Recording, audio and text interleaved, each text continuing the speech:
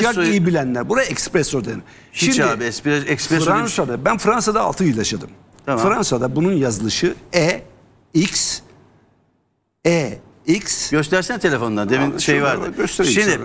Fransa'da yaşadın ama bunun orijinali espresso abi. en en bon espresso. Bak S harfi var mı burada? Tamam şu ekrana doğru tut abi. Bak şu ekrana doğru. Burada Aynen. S harfi var mı? Yok. He? X bu var. nasıl okunur bu? Ben sana şey Mesela söyleyeyim. eksportu nasıl olursun? Esport diye mi okursun? Hayır abi. İtalyanca'da peki X harfi olmadığını biliyor musun? İtalyanca'da E, tamam X harfi işte, yoktur yani. tamam işte kaynağında ben kaynağında bir defa böyle bir şey Ben yok. 6 yıl Fransa'da oturdum. 6 yıl Fransa'da öğrenci olarak yaşadım. Günde en az 2-3 defa espresso içiyordum. Hatta Fransızlar kısa böyle Fransız gibi davranmak istersen gittiğin zaman bara espresso da demezsin. En expre dersin. Yani hızlı demektir. Expre'den gelir. Ben Fransa'da espresso diyorum. Buradakiler espresso diyor. İsteyen istediğini desin. Biz şey nedir o? E, espresso diyoruz abi. İtalyanlar espresso diyor çünkü. E, Orijinali tamam bunun böyle ya. olduğu için Tamam da ben espresso içiyorsun ama espresso diyorsun. E, neyse. Tamam ben neyse ben girdiğim zaman espresso dediğim zaman herkes anlıyor ne demek istediğimi. Evet.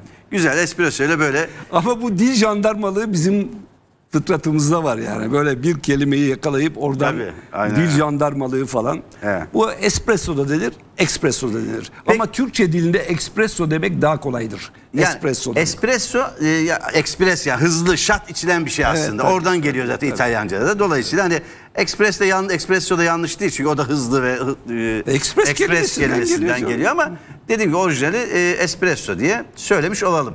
E, ama sen mesela bu e, kahve zincirlerinden karton bardakta içiyor musun yoksa bunu mu tercih edersin?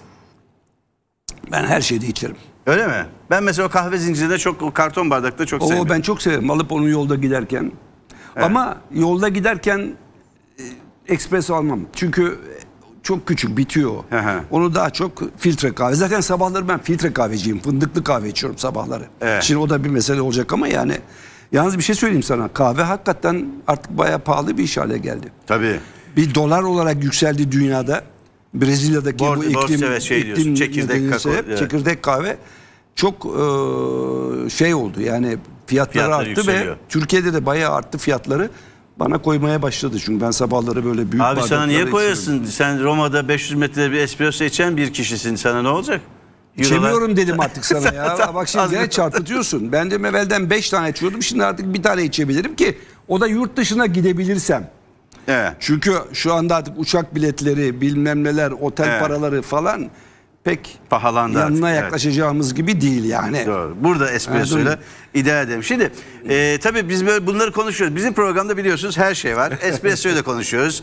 E, gündemdeki konuları da konuşuyoruz. Bugün bugünkü programda yılın son programı. 29 Aralık Çarşambadayız ve e, iki gün sonra yılbaşı. Yılı bitireceğiz 2021. Onu da soracağım sana. Nasıl geçti? 2022'de ne bekliyoruz?